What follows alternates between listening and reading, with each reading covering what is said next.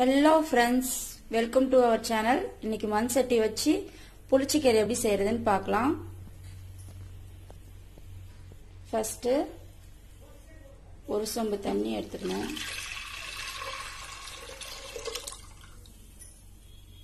அது நல்லா கொதிக்கிற வரையும் வெயிட் பண்ணுங்க.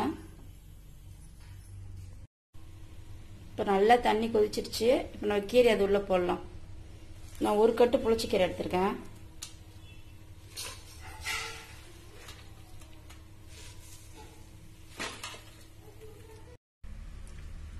கீரை வெந்துட்டுருக்கு. நம்ம அதுக்குள்ள புளிச்சக்கீரை கூட சேர்க்கறதுக்கு ஒரு பவுடர் ரெடி பண்ணலாம். அதுக்கு அரை டீஸ்பூன் வெந்தயம் அரை டீஸ்பூன் கொத்தமல்லி அரை டீஸ்பூன் ஜீரகம் போட்டு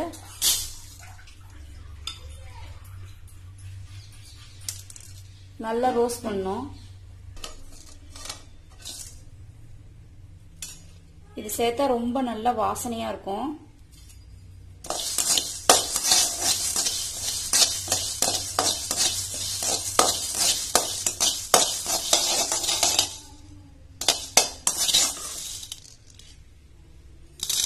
நல்லா செவந்துருச்சு. நம்ம இதை மிக்சியில் போட்டு அரைச்சிடலாம்.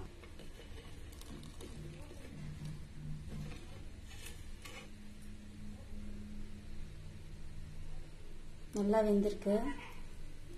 இப்போ கீரையில் இருக்க தண்ணியெல்லாம் வடிச்சிடலாம். இதெல்லாம் தான் தேவையான பொருட்கள். நம்ம வேக வைக்கும் போது எவ்வளோ கீரை இருந்தது? வெந்த உடனே பாருங்கள் கொஞ்சம் தான் இருக்குது இப்போ ஃபஸ்ட்டு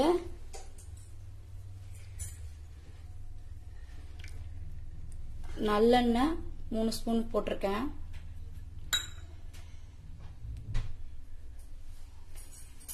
எண்ணெய் காஞ்ச உடனே கடுகு உளுத்தம்பருப்பு.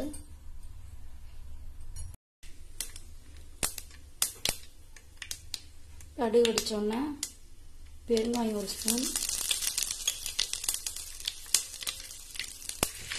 ஆறு காஞ்ச மிளகாய்.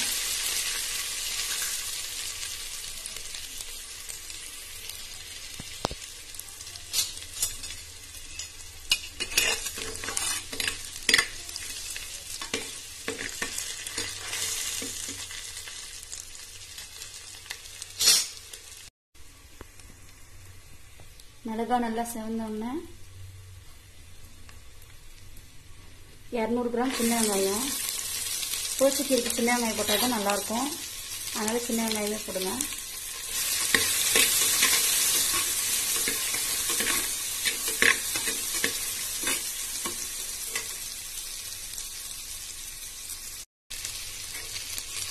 கொஞ்சமாக உப்பு சேர்க்குறேன்.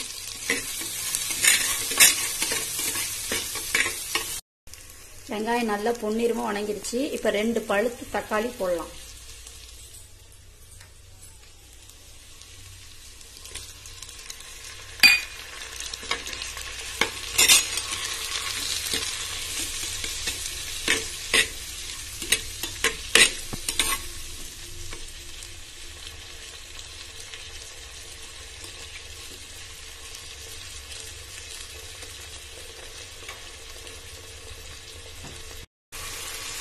தக்காளி நல்லா வணங்கிருச்சு. இப்போ ஒரு கைப்பிடி அளவுக்கு கொத்தமல்லி தலை சேர்த்துக்கலாம். கொத்தமல்லி தலை சேர்த்தா ரொம்ப நல்லா டேஸ்டியாக இருக்கும். நம்ம மண் சட்டியில் செய்கிறதுனால கீரையே ரொம்ப நல்ல டேஸ்டி ஒரிஜினல் டேஸ்ட் கிடைக்கும்.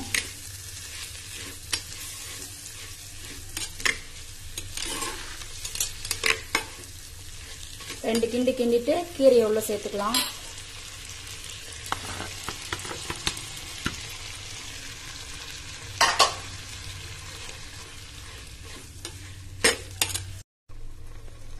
இப்போ நம்ம பவுடர் பண்ணி வச்சிருக்க ஜீரகம் வெந்தயம் கொத்தமல்லி.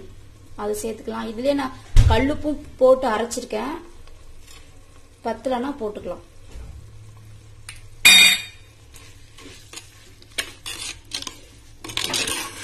நல்லா கிளறி விடுங்க. ஒரு மத்து வச்சு இப்போ நல்லா கடையலாம். கீரை நல்லா கடைஞ்சாச்சு. டேஸ்டியான புளிச்சிக்கீரை ரெடி ஆயிடுச்சு. நீங்களும் செஞ்சு பாருங்க. மறக்காம ஷேர் பண்ணுங்க.